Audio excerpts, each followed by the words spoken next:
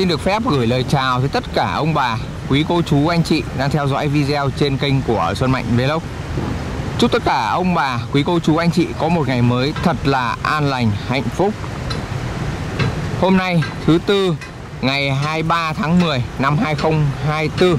Hiện tại thì à, cháu Mạnh vẫn đang có mặt ở cây cầu Phong Châu và hôm nay thì cháu sẽ tiếp tục cập nhật những cái tiến độ trục vớt cũng như quá trình tìm kiếm những nạn nhân còn lại ở phía cây cầu Phong Châu này. Và trước khi đi vào video thì cháu cũng kính mong quý cô chú anh chị hãy dành tặng cho cháu những lượt like, những lượt đăng ký kênh, những lượt chia sẻ để ủng hộ cho cháu nha. Hiện tại bây giờ là 7 giờ 26 phút và lúc này thì cháu Mạnh đang đứng ở phía bên bờ Lâm Thao. Đứng từ một góc nhìn này Thì uh, quý vị và các bạn có thể thấy được toàn bộ cái khu vực trục vớt. Hiện tại thì chiếc xe cần cẩu màu đỏ thì vẫn ở trong cái khu vực vận chuyển những cái thanh dầm đã được cẩu lên trước đó để chất gọn vào một góc. Còn phía dưới này thì à, ba con cần cầu chữ A hiện tại thì vẫn đang tiếp tục triển khai cái quá trình cắt những cái mảng dầm để có thể đưa được lên bờ thành công. Và cũng đứng từ một góc nhìn này thì quý vị và các bác có thể quan sát rõ được những thanh dầm, những mảng dầm rất là to. Một phần thì à, nổi trên bờ và một phần thì nằm chìm ở dưới nước. Và đứng từ à, một góc nhìn này thì cháu quan sát được là có hai mảng to. Đấy, một mảng dầm to phía bên trên được móc vào chiếc cẩu chữ A màu đỏ phía bên tay phải. Và còn lại một mảng dầm to nằm ngang ở chính giữa này. Ở góc nhìn này thì uh, cháu nhìn thấy là 1 2 3 4 5 5 ô tính từ bên phải sang Đấy, 5 ô mỗi ô ngăn cách nhau bởi ờ, một thanh dầm dọc và thanh dầm này thì nhỏ hơn cái thanh dầm chính ngang một chút xíu. Thì uh, hôm trước thì cháu cũng có chia sẻ một cái video lên rồi. Thì không biết là đây có phải là cái nhịp số 2 đã được đội trục vớt họ kéo họ tời vào rồi hay không? Hay là đây chỉ là nhịp số 1 thôi? Đấy, cái này thì cháu cũng chưa thể nào nắm chắc được. Nhưng mà cháu sẽ tiếp tục cập nhật và xác minh xem đây có phải là nhịp số 2 không từ góc nhìn này thì uh, mới thấy được là cái lượng dầm còn rất là nhiều Thời tiết uh, buổi sáng ngay lúc này thì hiện tại uh, rất là mát mẻ, chưa có nắng, thời tiết không âm u. Mực nước lúc này ở dưới sông thì hiện tại bên bờ Lâm Thao này gần như là bằng phẳng, không có chảy gì cả. Nhưng mà phía bên bờ Tam Nông kia thì nước vẫn còn chảy mạnh ạ. Và đứng từ đây thì uh, quý vị và các bác có thể thấy được là cái phần bên bờ Lâm Thao này đã chật hết ra rồi. Đây cái phần à, mấu cầu này này. Đấy, bây giờ lộ hết ra cả những cái phần ép cọc ở phía bên dưới rồi. Đấy, còn à, nổi cả cái cồn cát đây này. Đấy, đây là những cái cồn cát đã được à, chật ra khi mà nước ở đây rút. Cồn cát này trải rất là dài từ phía kia. Chính vì vậy nên cái bờ sông phía bên uh, lâm thao này rất là bình lặng nhưng mà cái bờ tam nông kia thì chạy còn mạnh lắm ạ.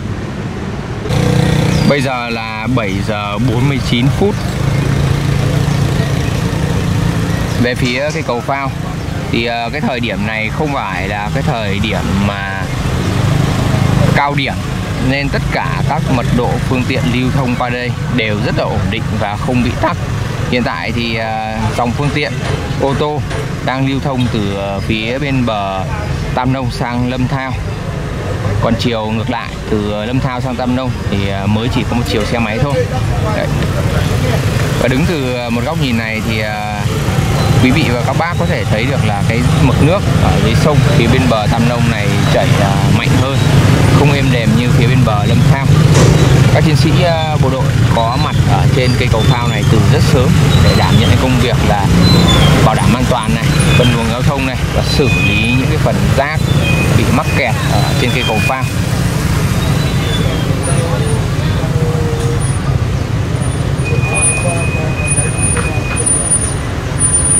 Các phương tiện đang ờ, di chuyển rất là đều nhịp nhàng. Các chiến sĩ, bộ đội không quản ngại nắng mưa, lúc nào cũng túc trực trên ờ, cây cầu này để phục vụ cho người dân đi lại một cách rất là an toàn.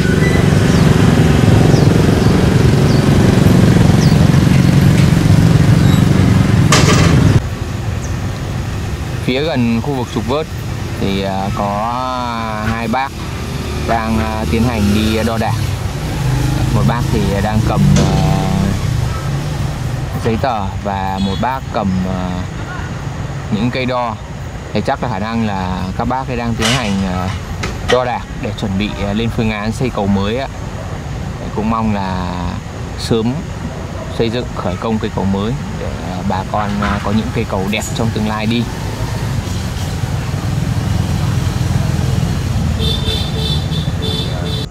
Bây giờ là 8 giờ 46 phút. Và hiện tại lúc này thì cháu Mạnh đang có mặt ở phía bên trên cái địa điểm tập kết những cái phần dầm. Và để cháu cho các bác nhìn góc rộng để có thể thấy được toàn cảnh những cái phần dầm đã được cậu lên.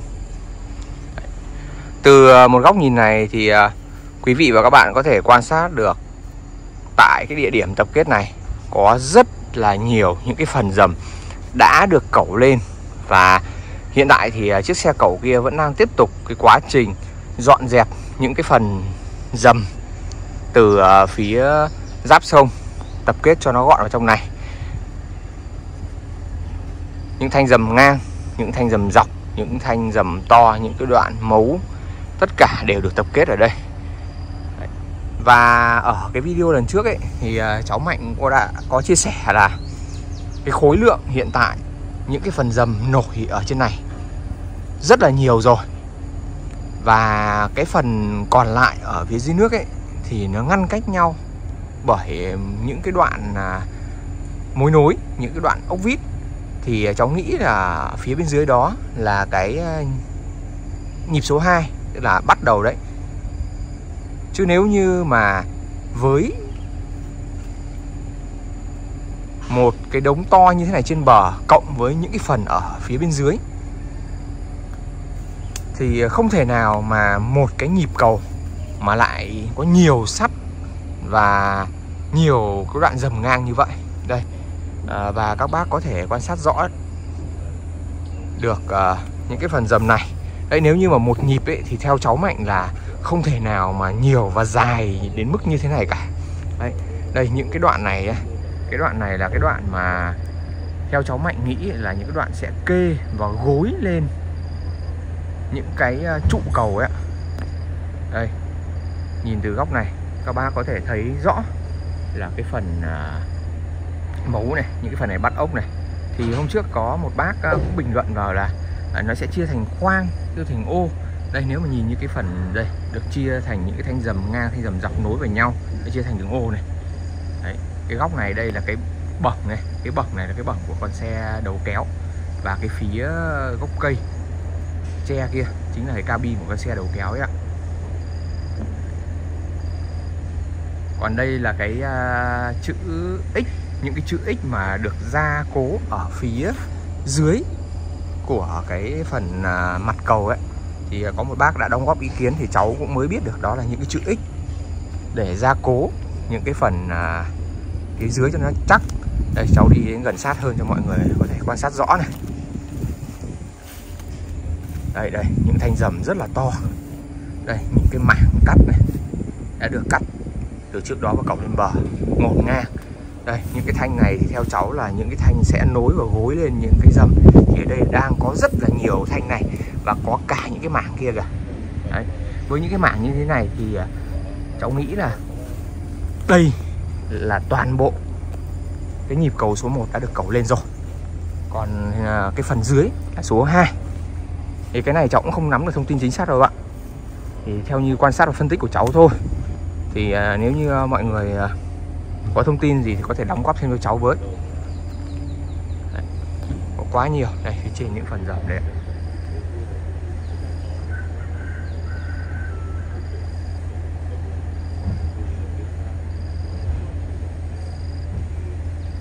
cháu đang trực tiếp tại à, cái địa điểm tập kết.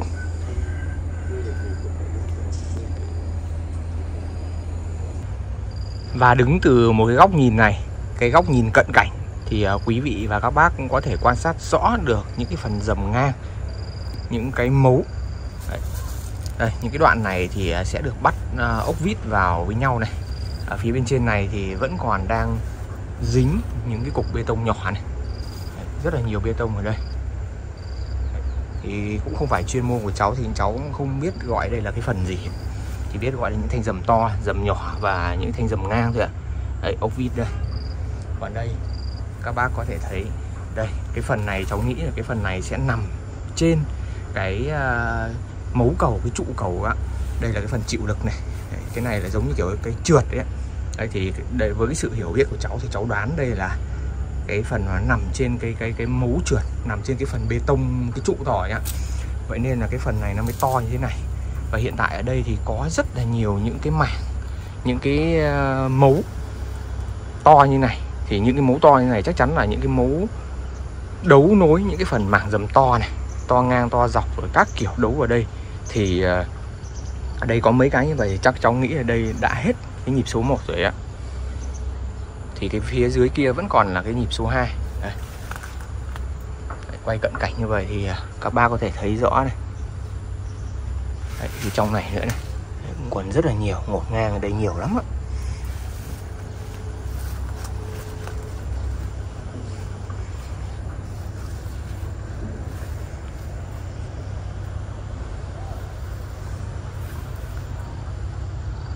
Đấy, những cây thanh lan can thanh rào chắn. Đấy, góc phía bên này. Đấy, xa kia là chiếc xe đầu kéo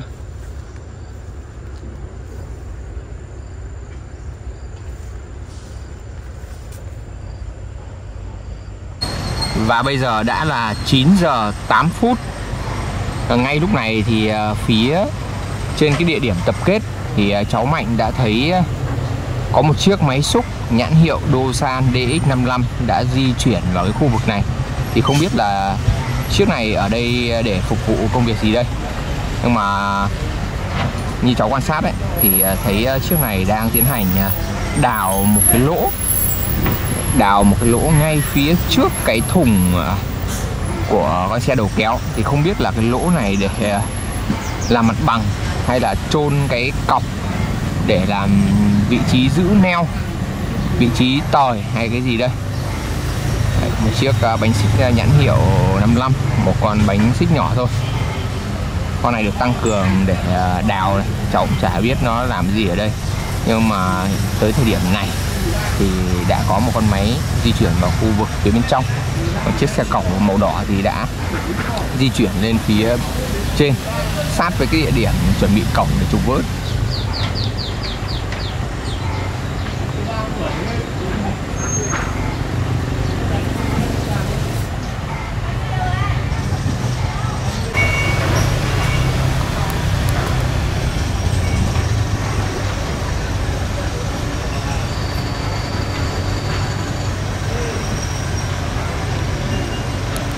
Một thanh dầm ờ, tiếp theo đã được ờ, chiếc xe cần cọc của màu đỏ cẩu. Thì không biết là cái thanh dầm này sẽ được cọc đi đâu và sẽ để vào cái vị trí nào đây? Và như ờ, theo cháu suy đoán được ấy, thì khả năng cao là chiếc máy xúc DX140 kia à chiếc Dosan DX55 kia sẽ đào một cái lỗ và con cầu này sẽ cho cái phần thanh dầm này xuống đó để làm một cái cọc cái cọc này có thể là cái cọc níu, giữ những cái phần à, dây cáp hoặc là cái phần tời á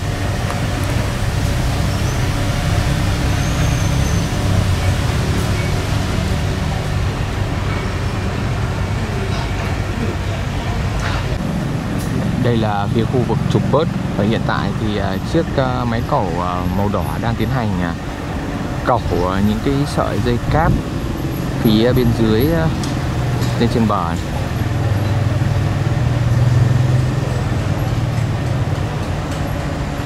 đây là những ờ, cái sợi dây cáp bị ờ, đứt từ trước đó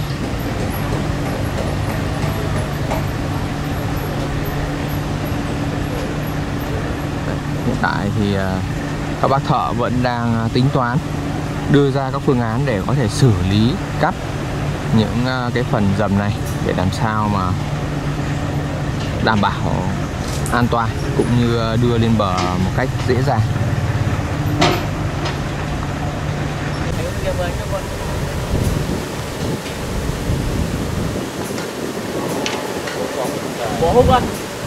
Cái cái thanh à, dầm này được cẩu lên và đúng như ờ, cháu đã dự đoán từ trước thì ờ, chiếc máy xúc đô san kia đào một cái lỗ để cho con cẩu này nó cẩu cái thanh dầm này cho xuống cái lỗ này.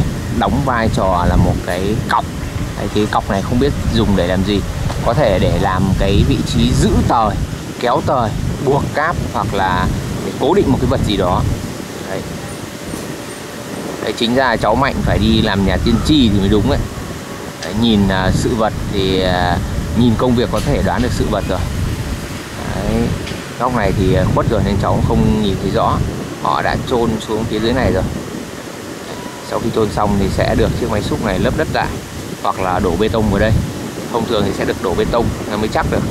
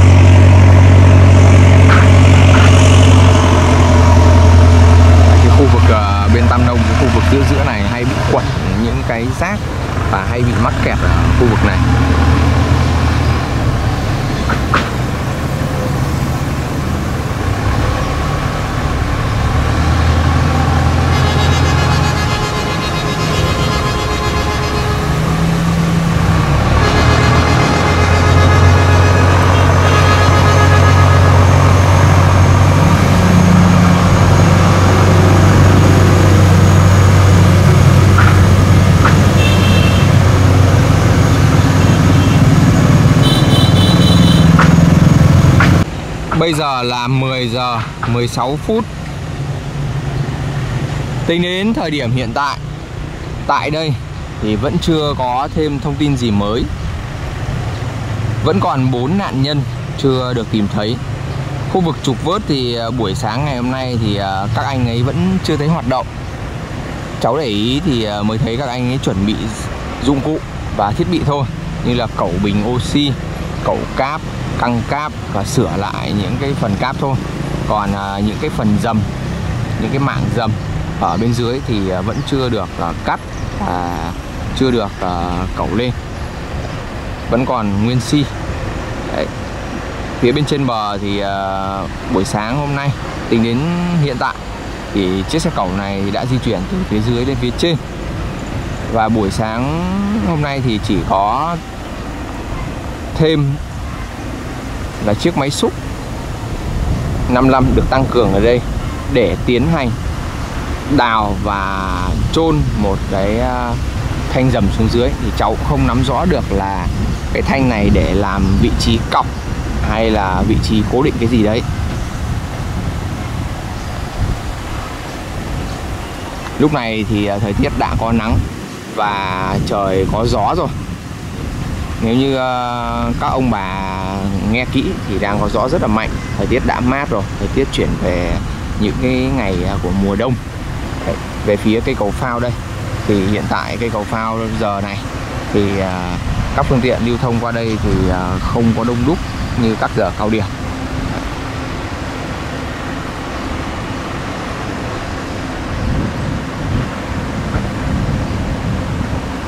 Những cái phần dầm kia thì không biết là chiều nay các anh có xử lý không và cháu cũng sẽ xem và để hỏi các anh ấy là cái phần dầm này là của nhịp cầu số mấy đây. Đấy, buổi sáng hôm nay thì cháu cũng xin được phép kết thúc tại đây thôi. Cháu chỉ cập nhật đến đây. Và nếu như buổi chiều có thông tin gì mới cháu sẽ tiếp tục cập nhật để gửi tới quý vị và các bác nhé. Vâng, một lần nữa cháu xin chào và hẹn gặp lại.